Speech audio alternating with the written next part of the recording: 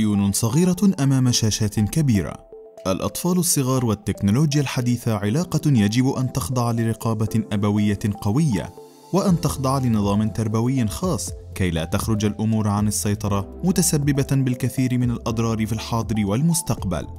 أحدثت التكنولوجيا الحديثة مثل الهواتف النقالة والآيباد وال video games وغيرها تغييرا جذريا في حياة الأطفال. وأصبحنا نرى أطفالا أكثر براعة من البالغين في التعامل مع هذه الأجهزة بما تتضمنه من تطبيقات لذلك دعني أطرح عليك سؤالا هل تعتبر أن قضاء أبنائك الكثير من الوقت أمام شاشة التلفاز أو الموبايل أو الألعاب الإلكترونية إدماناً؟ تشير الإحصائيات والأبحاث إلى أن تعرض الأطفال الصغار إلى استعمال التكنولوجيا بحد كبير إدمان سلوكي وخلل تربوي يؤدي مستقبلا إلى مشاكل جسيمة مثل العزلة والاكتئاب والمشاكل الصحية بل وأيضا جرائم الابتزاز والتحرش الإلكتروني. وصرحت اليونيسف عام 2018 بأن أكثر من 175 ألف طفل يستخدمون شبكة الإنترنت للمرة الأولى في كل يوم يمر أي بمعدل طفل جديد كل نصف ساعة.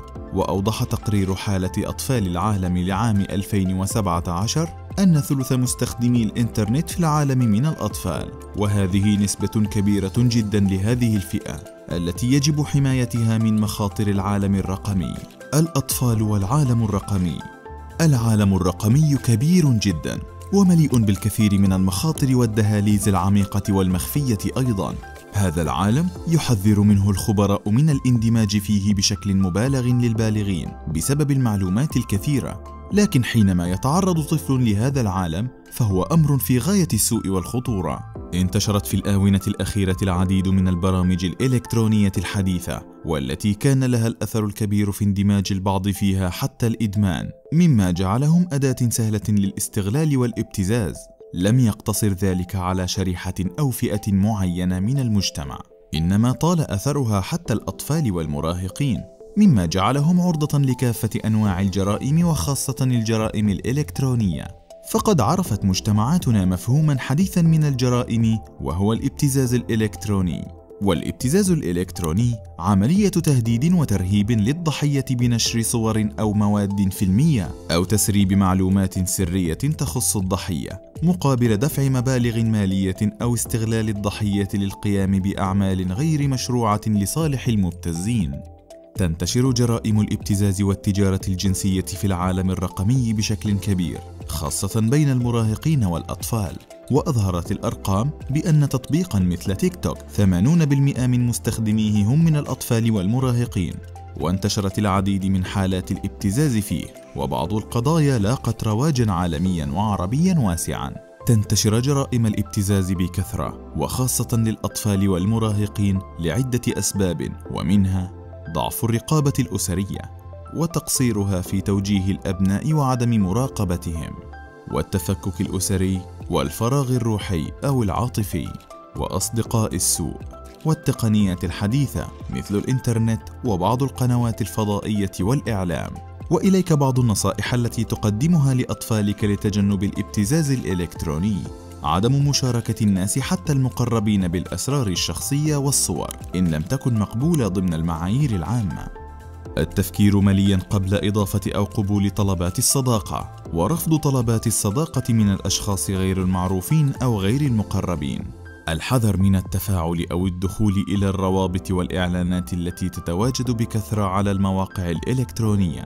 فالكثير منها يكون بمثابة مصيدة للابتزاز الإلكتروني. عدم نشر معلومات خاصة بالعائلة. الأجهزة التي يمكن أن يتعرض لها الطفل تصنف كالآتي التلفاز الموبايل الآيباد الكمبيوتر البلاي ستيشن أو ألعاب الفيديو بشكل عام. وأوصت الأكاديمية الأمريكية لطب الأطفال بالآتي أولاً الأطفال الرضع حتى 18 شهراً. يجب ألا يكون هنالك وقت للجلوس أمام الشاشة لأن خلايا الطفل في هذا العمر لا زالت تتكون داخله. لذلك من الأفضل أن يتعرض الطفل لاستكشاف الحياة الطبيعية بنفسه. ثانياً الأطفال من عمر 18 شهر إلى 24 شهر. يمكن أن يقضي الطفل بعض الوقت القليل جدا ولكن برفقة أحد الوالدين. ثالثا الأطفال ما قبل مرحلة الدراسة من عمر الأربع سنوات إلى خمس سنوات. ينصح الأطباء أن لا يتعرض الأطفال للتكنولوجيا لمدة تزيد عن الساعة الواحدة يوميا وبإشراف من أحد الوالدين. رابعا من عمر خمس سنوات إلى ثمانية عشر عاما. يعتبر السن من تسع سنوات إلى ثمانية عشر عاما عمرا حساسا. لأنه يجمع ما بين الطفولة والمراهقة وبداية الدخول لعالم الشباب. لذلك من الأفضل لمن هم أقل من تسع سنوات بقضاء وقت معين يوميا. ويفضل أن لا يتجاوز الساعتين والأفضل ألا تشغلهم عن الحصول على الوقت الكافي من النوم والقيام بالأنشطة الرياضية والترفيهية والانخراط في المجتمع. ولا ينصح باستخدامها لأكثر من ساعتين يوميا لمن تزيد أعمارهم عن 18 عام. أخطاء يجب على الوالدين تجنبها. بعض الآباء والأمهات بسبب انشغالهم أو انزعاجهم من بكاء الطفل فيقومون بإعطائه الهاتف ليكف عن الضجيج والبكاء. وهذا أكثر فعل خاطئ يمكن للآباء أو الأمهات بالأخص ارتكابه. وغالبا ما يكون سببا لمخاطر مستقبلية. هذا الطفل مع التكرار سيسبب تعلقا بين الطفل والأداة وإن لم يحصل على أدواته المفضلة فسيزيد من البكاء والعناد حتى يحصل على ما يريد.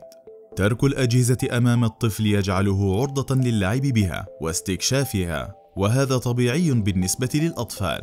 لذلك يفضل عدم وضعها في متناول الأطفال. ما هي أعراض إدمان التكنولوجيا للأطفال؟ الشعور الدائم بالقلق والتوتر عند انقطاع أو تعطل الإنترنت وشعور الطفل بالضيق بسبب أن ألعابه لا تعمل جيدا. يكون الطفل في حالة ترقب دائم لبرامج ومواقع التواصل المشارك بها مما يعرضه لمحتوى البالغين الذي لا يجب أن يتعرض له في هذا الوقت من العمر. عدم الشعور بالوقت أو بالآخرين ممن حوله عند استخدام التطبيقات والأجهزة الإلكترونية. مما يتسبب له بالانتقال لمرحلة خطيرة من الإدمان وهي الميل إلى العزلة وقلة التواصل مع الآخرين وكثرة المكوث في المنزل مما يؤدي إلى قلة أو انعدام الأنشطة الرياضية أو الاجتماعية التي يمارسها الطفل لانشغاله بالأجهزة الإلكترونية التي قد تتسبب مستقبلا في أضرار صحية وجسدية له. اذا هل يمكننا القول بأن الأطفال مدمنون؟ المقارنة مع تعاطي المخدرات مغرية لأن الأجهزة تحفز نفس مراكز المكافأة في الدماغ. لذلك يمكننا القول بأن إدمان التكنولوجيا قريب من إدمان المخدرات. إن العالم الرقمي بكل ازدحامه وزخمه ورعبه قد أصبح الآن حقيقة من حقائق حياتنا. ولذلك فإن المعرفة بكيفية تقليل مخاطرها وتعظيم فوائدها ستساعد على تشكيل حياة ومستقبل جيل جديد من المواطنين الرقميين. هم الآن مجرد صغار أمام عالم كبير، وغدا هم عيون كبيرة أمام شاشات كبيرة. انتظرونا في الجزء القادم لنخبركم بعض طرق العلاج والنصائح والإرشادات للتقليل من مخاطر التكنولوجيا للأطفال والكبار. وشاركونا في التعليقات هل يعاني أحد أحبائكم من إدمان التكنولوجيا؟ الأمل دائما معكم